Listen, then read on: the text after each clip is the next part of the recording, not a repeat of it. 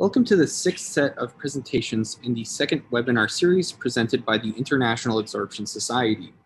The IAS is an international organization dedicated to advancing adsorption as a scientific solution, engineering solution, and, have, and a solution to human welfare challenges through the promotion of adsorption research and education. We hope that all of our attendees and their families and their colleagues are safe amid the ongoing COVID-19 pandemic. We thank everyone for attending the webinar today. The webinar series, which began in the spring of 2020 and then restarted last autumn, has been an immense success and the recordings of those webinars continue to be viewed on YouTube. We, plan, uh, we continue to plan these webinars through the present academic year with a variety of speakers from industry, academia, and other research institutes, as well as PhD students and early career researchers. Subsequent webinars will be announced on the IAS mailing list and the IAS Twitter feed. Today's webinar will be given by Danny Shade, a PhD student at the Georgia Institute of Technology, and Kasturi Nagesh Pai, a PhD student at the University of Alberta. Both of these students were Best Poster Award recipients at the inaugural IAS Twitter Poster Conference. I am Nicholas Wilkins at the University of Alberta and the IAS Student Education Committee. Today's webinar will be moderated by Valentina Stampi Bombelli of ETH Zurich in Switzerland. We are required to remind attendees and future viewers that views expressed by the speaker, host, or other, other moderators are not necessarily those of the IAS or the institutions associated with those individuals.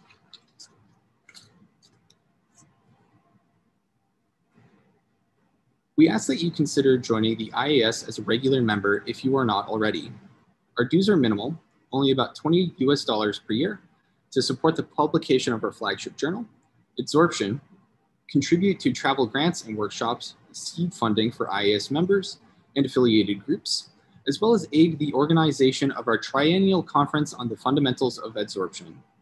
Members also receive free access to IAS supported materials, including our journal, as well as the adsorption database published by Springer Materials.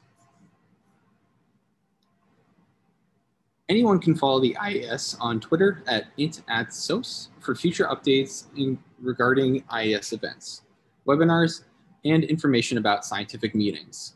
Please help expand our YouTube channel by subscribing. We would like to remind the viewers of the upcoming Fundamentals of Adsorption Conference in Broomfield, Colorado between May 22nd and May 27th in 2022. More information can be found on the website given on the slide.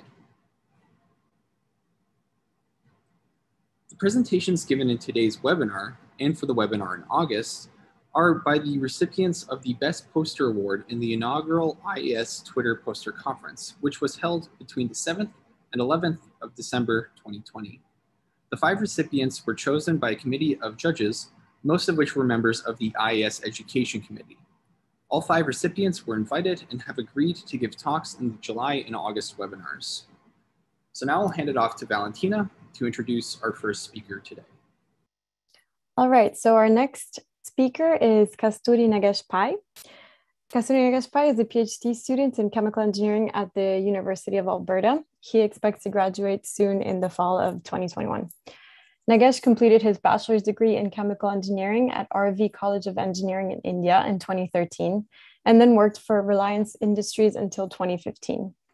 He then came to the University of Alberta to do his master's degree in, chemi in chemical engineering, which he finished in 2017, and then continued with his uh, PhD.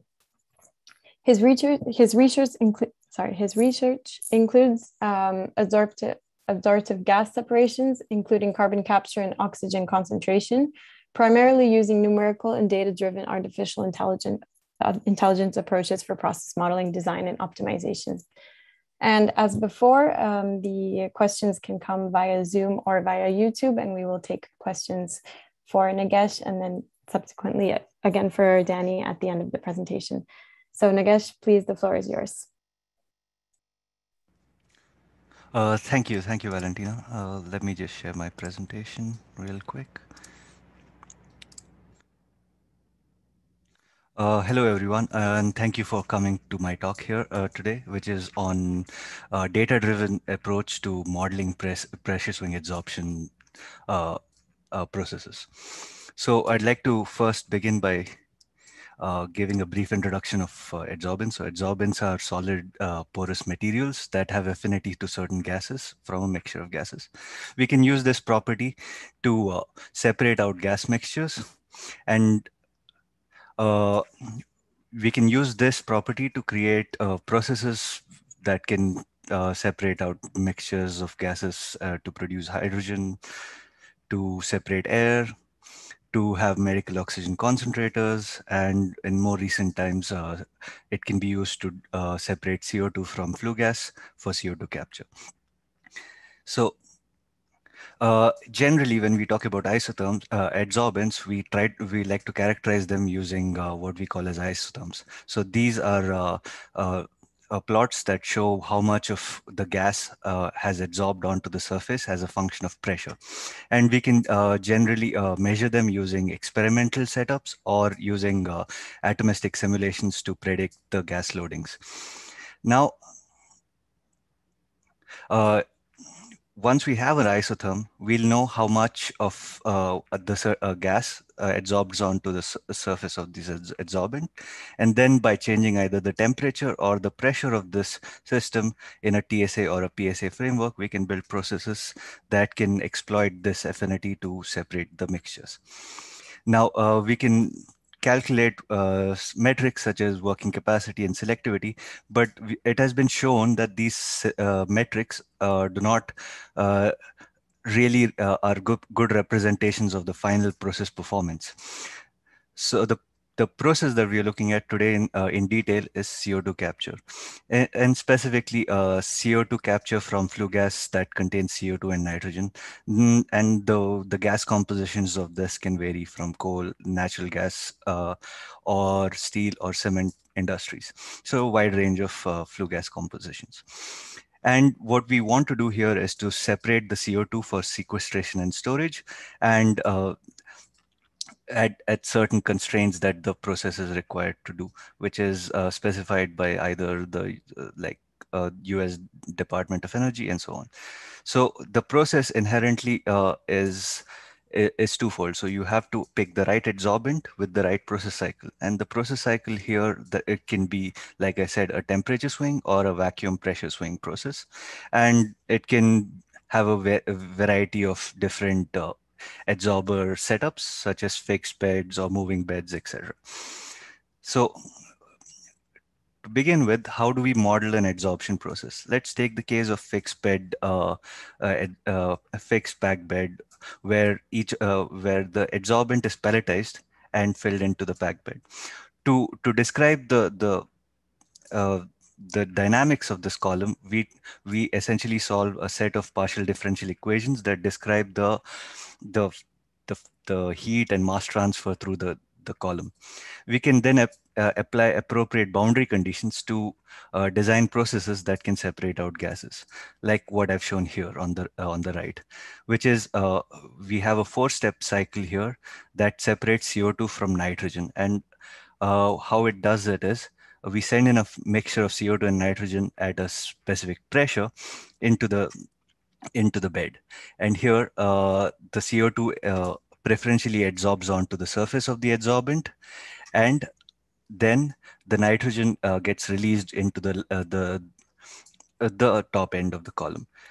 After this, we reduce the pressure of the system in a co-current blowdown step where we remove the rest of the residual nitrogen from uh, from the bed, followed by which uh, we are, we remove the the adsorbed CO2 by uh, applying a, a, deep vacuum. This is then cyclically uh, run by first bringing it back into the initial conditions of pressure, and we can then measure performance indicators such as purity recovery uh, and so on that that can help us uh, pick uh, uh, uh, or measure the performance of these materials. So uh, let me show you a quick case study of how we go ahead, uh, go and model these processes. So we take an isotherm of, and we parameterize it and fed it to a, a Langmuir model or some sort of a predictive model for for our simulations. And then uh, we randomly pick some operating conditions like time of the adsorption step, the pressure levels, or the velocity of the feed and so on. And then what we do is we iteratively run these specific boundary conditions that represent the different steps, which in this case are the adsorption step, the co-current blowdown, countercurrent blowdown, and the pressurization step. And we run it iteratively till uh, the process reaches a cyclic steady state. As you may all uh, be aware, uh, adsorption unit uh, adsorption processes uh, tend to be unsteady state in nature and tend to reach a, a, a, state called a cyclic steady state only after we run it for a certain amount of uh, cycles. And at this point, it uh, we then go ahead and measure our uh, performance indicators like purity and recovery and so on. So we call this setup uh, the full model. And each uh, simulation for each of these operating condition, like one parameter one uh, simulation takes about three core minutes on a normal computer. So now to optimize uh, or to figure out where the best performance lies, we, uh, we optimize the operating conditions in a given range uh, as shown here. So we take the adsorption uh, uh, time has a, a specific range. We give the optimizer a range for pressure as well as velocity. And we and then we uh, let the optimizer pick points in this given range and simulate each of uh, these variables for one isotherm. And as, uh, as you can see here, I've shown the performance for uh, a hypothetical case where I've plotted CO2 recovery and CO2 purity. Uh, and each of these points represent one specific simulation.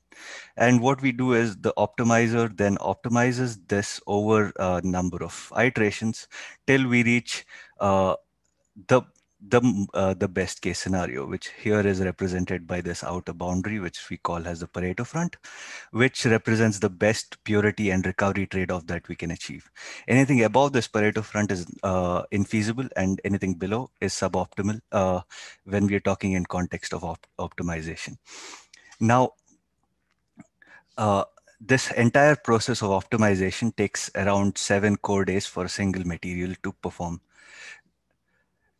and with the context of uh, uh, MOFs and adsorbents and the the the sheer number of adsorbents that have been uh, generated, uh, doing this uh, traditional screening process becomes quite computationally challenging. As as I've shown here in this graph, uh, has a function of number of adsorbents and the computational time required.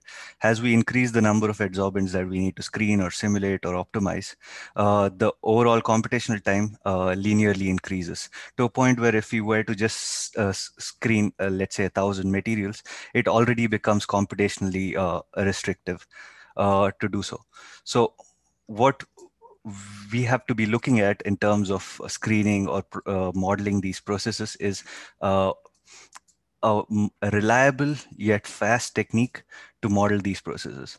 So we've already uh, mentioned that simple metrics such as selectivity and working capacity do not show the entire picture of uh, screening these materials. And simplified models, uh, again, uh, are faster, but again, do not show the entire picture of uh, the final performance. So what we uh, suggest, what we've been doing is using supervised machine learning to uh, uh, achieve fast computational times while keeping uh, a very high reliability in prediction. So to be, uh, here, I will introduce the, the framework that I've, uh, I will be presenting, which is the machine-assisted adsorption process learner and emulator, which we call, um, uh, which is short for MAPLE, which is charac characterized by an it's adsorbent agnostic, as in we can input any adsorbent and it doesn't have to be retrained. Uh, it can then uh, give us uh, uh, uh, the results without it trying to iteratively reach cyclic steady state. So the results are instantaneous. these models are very, they emulate the PSA process to to uh, uh, to the T. So it it can be used to uh, uh, uh, optimize these processes, and then this model can screen materials. Uh, and uh, uh, as I'll show you later, these have been validated experimentally, and then we can use these models to explore the inverse problem or the adsorbent design problem.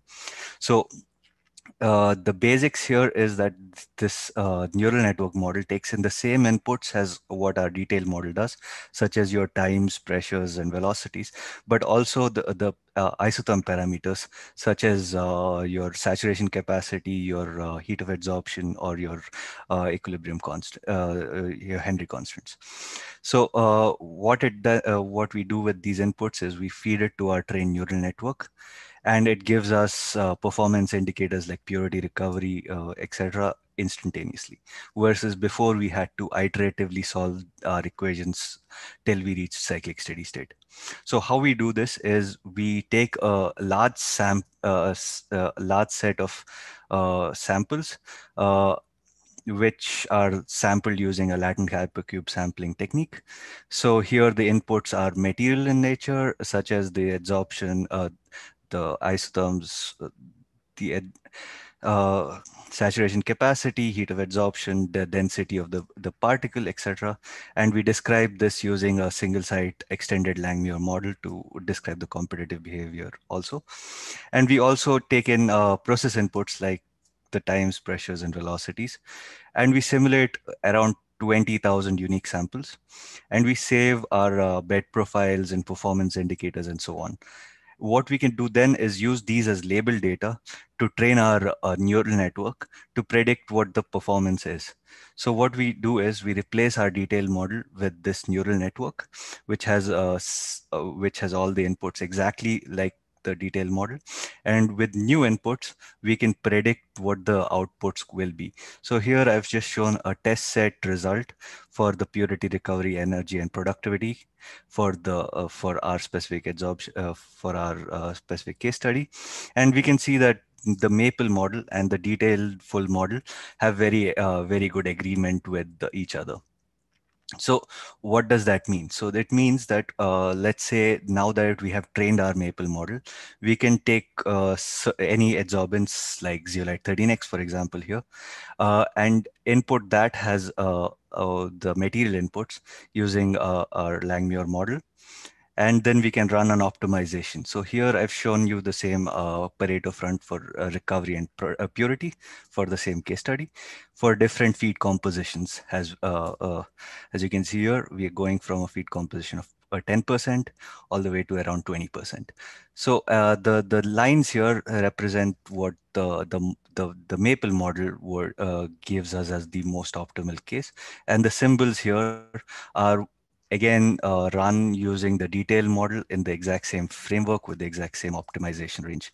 And we can see that uh, both models uh, in on, uh, uh, can predict the optimal uh, points for our system very well.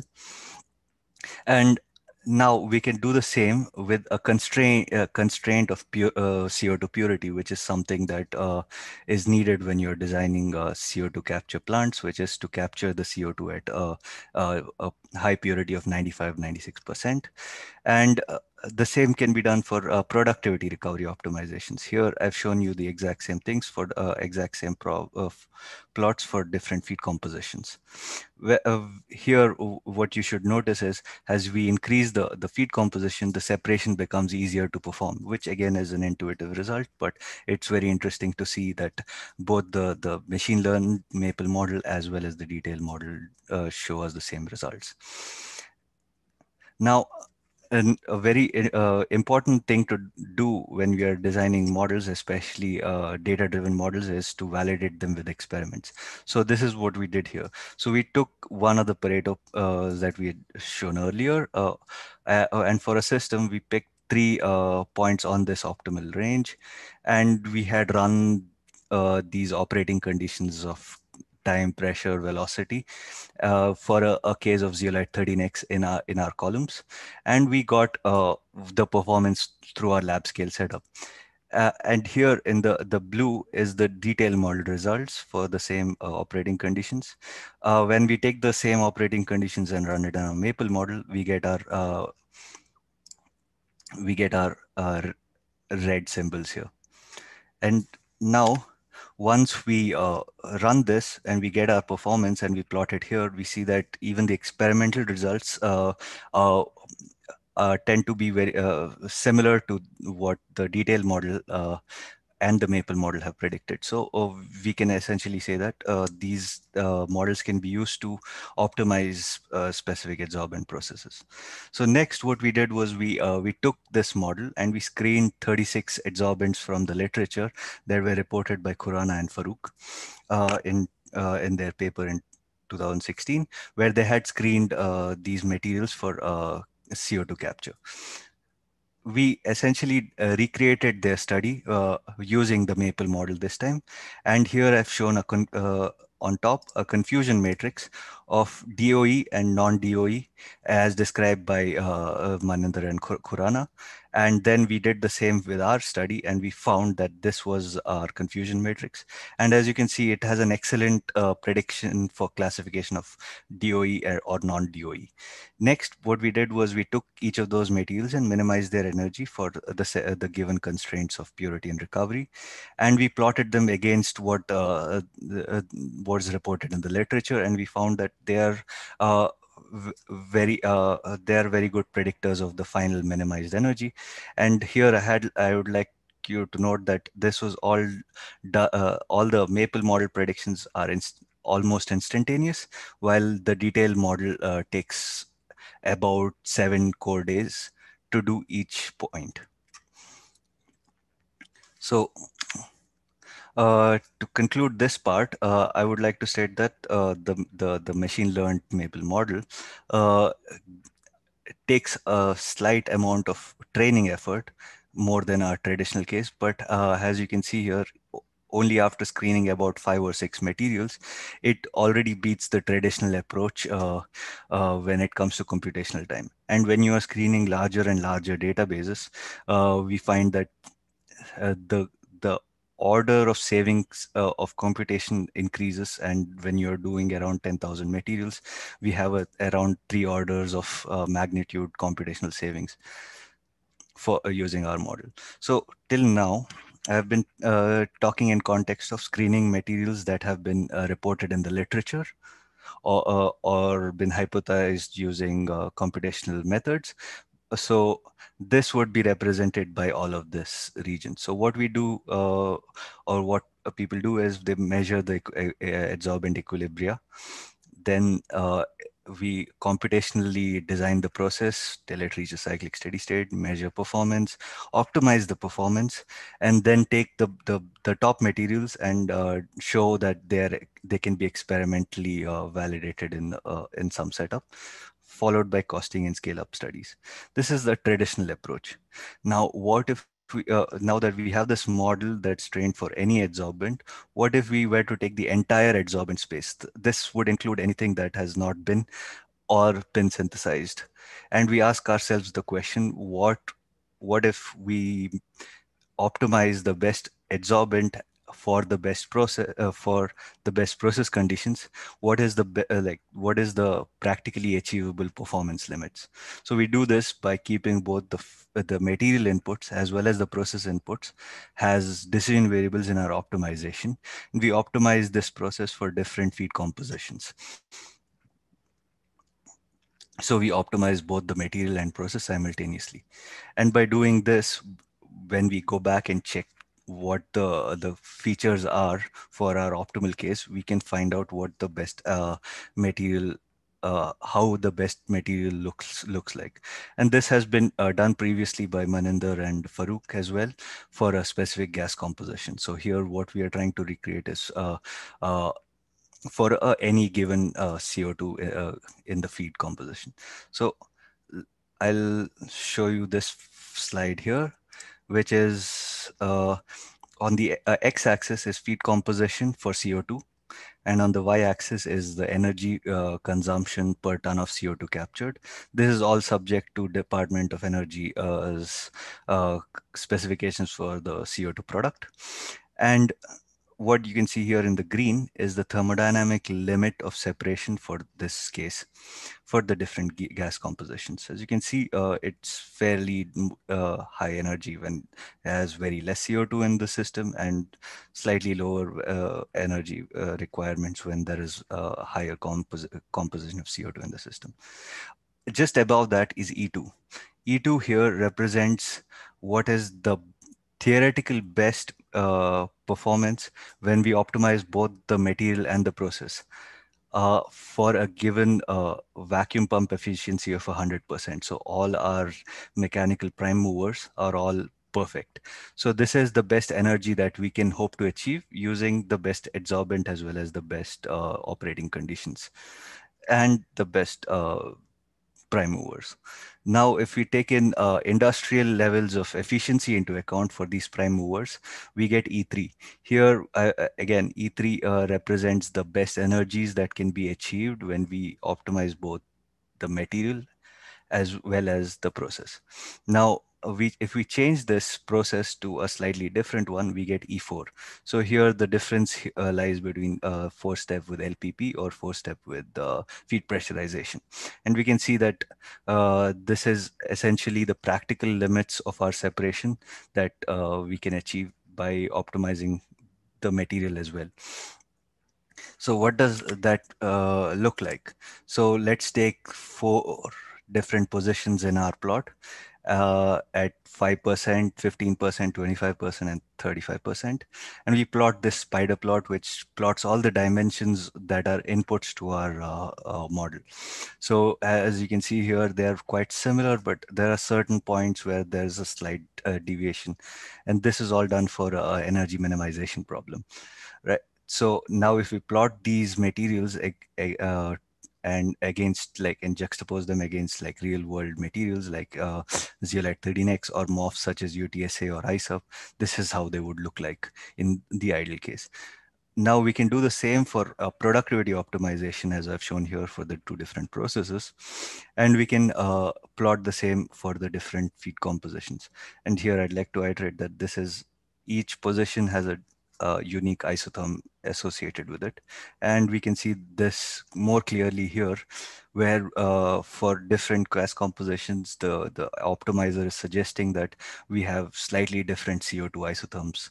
Uh, and if you go back and check the nitrogen isotherms for the energy case, we see a similar trend here, uh, but uh, not for CO2. Now, this is uh, quite interesting. So what if we take these materials such as zeolite 13x, UTSA, or IISERP and do the same uh, by optimizing just their operating conditions. We get E5, E6, and E7.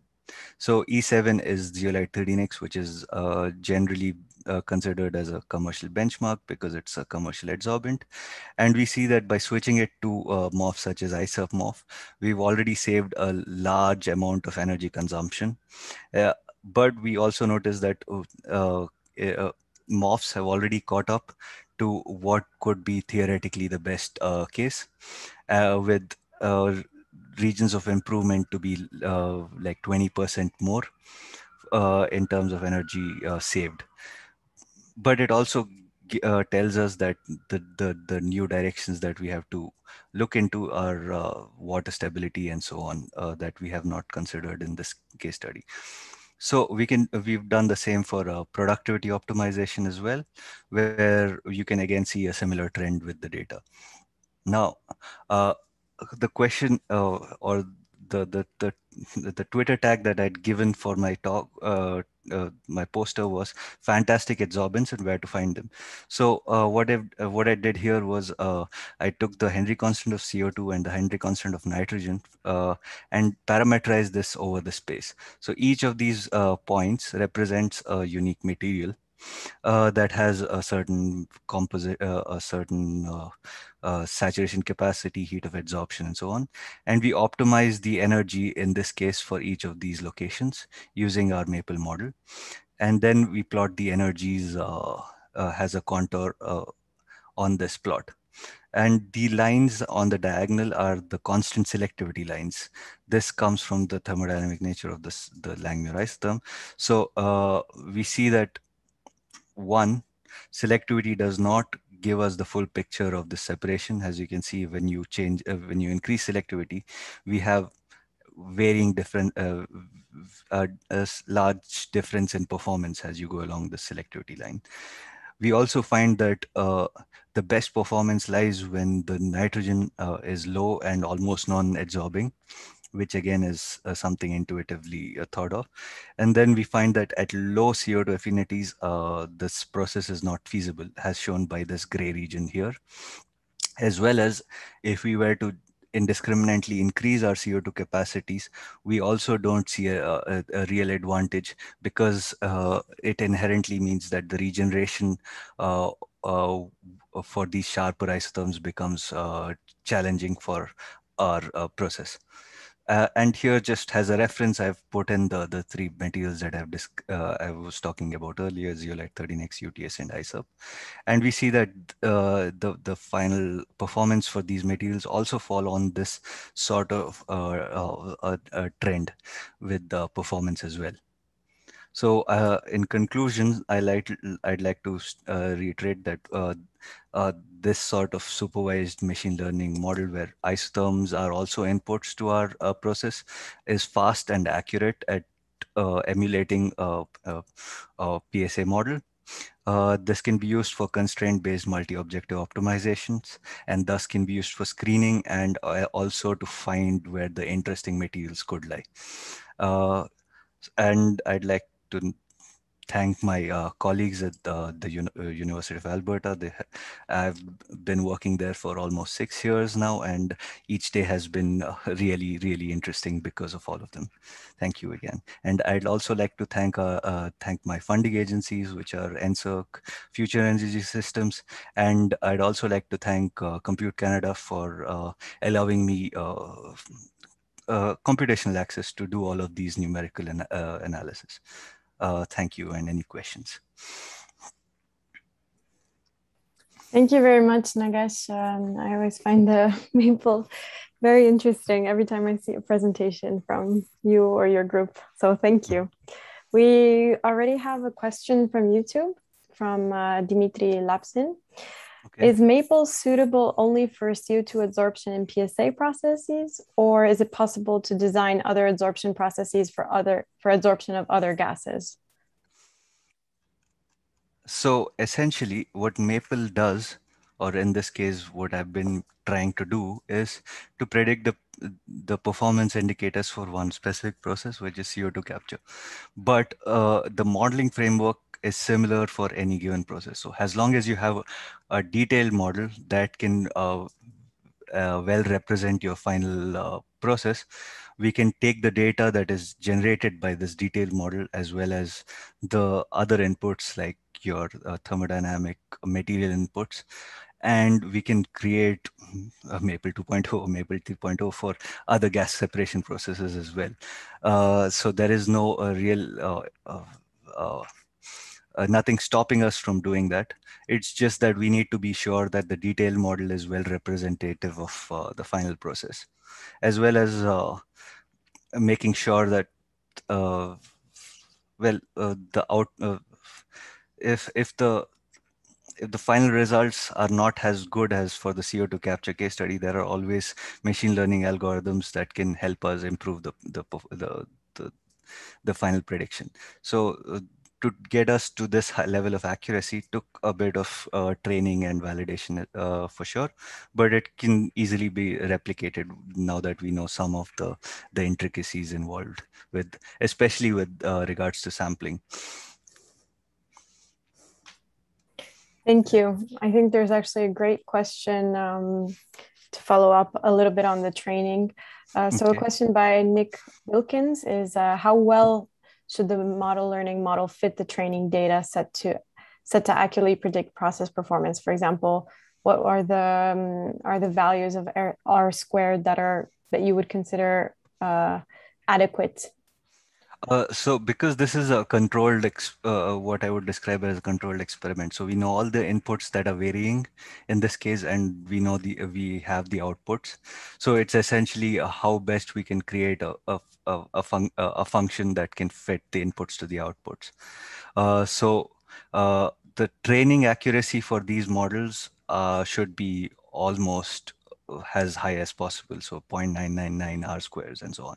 But what is very uh, important and interesting is that it should be able to predict uh, the the optimal regions or regions that we have not really uh, sampled very well. And that's why testing accuracy as well as uh, accuracy with regards to like final uh, optimal conditions is also very important. So i would look at test uh, an independent test set R square of 0.98 or 0.99 as a has a very good indicator. And we can see that already with the, the, the parity plots I've shown here.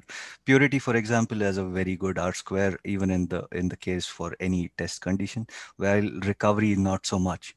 So uh, uh this can be improved by either adding more uh, data points to our uh, our training set or by uh, increasing the complexity of our uh, network or maybe using a better alg uh, algorithm to optimize this uh, neural network. Thanks, Nagesh. Um, a follow-up question always by Nicholas hmm. is uh, which machine learning models seem to do the best job predicting the process performance given that the training data is sufficiently fitted then? Uh, so uh, the models that we are using here are uh, artificial neural network, which uh, a multi-layered artificial neural network. But I've also found uh, uh, more traditional machine learning models such as Gaussian process regression can handle smaller data sets. But what we find is with the larger data sets that we have to go to, uh, to capture the entire decision space, let's say, uh, we have to use something like a neural network, which is which has the ability to handle larger and larger data. Thanks, Nagesh. For the time being, I think we have uh, no more question. There is Celio Cavalcante thanking you for your talk and complimenting you.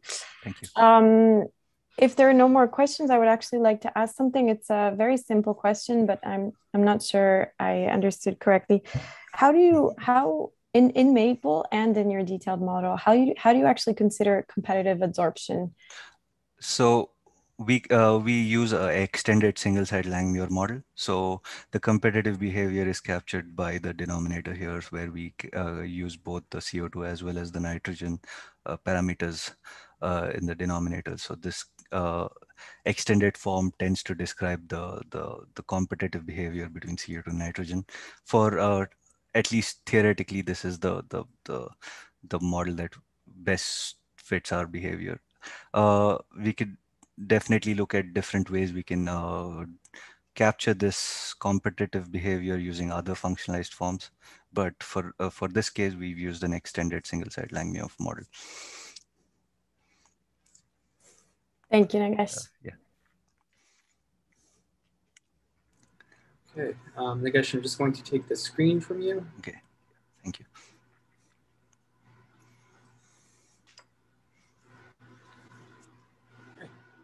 Thank you both Danny and Nagesh for your presentations. We also thank all of the attendees for joining this webinar. And we hope that it was both educational and enjoyable. An edited version of this webinar will be posted to the IAS YouTube channel with an announcement on the IAS Twitter feed. The hope is that the work discussed today will be a useful resource for the adsorption science community in the future. Um, our next IAS webinar will be on August 17th, ELSA at 10 a.m. EST, with the remaining Best Poster Award winners of the inaugural Twitter Poster Conference. The one following that in September will be given by Hideki Tanaka, um, and we will update you of the date when we have one. Announcements regarding the upcoming webinars and other IAS online events will be posted to our Twitter feed and will be emailed to you through the IAS mailing list. We hope that you will join us.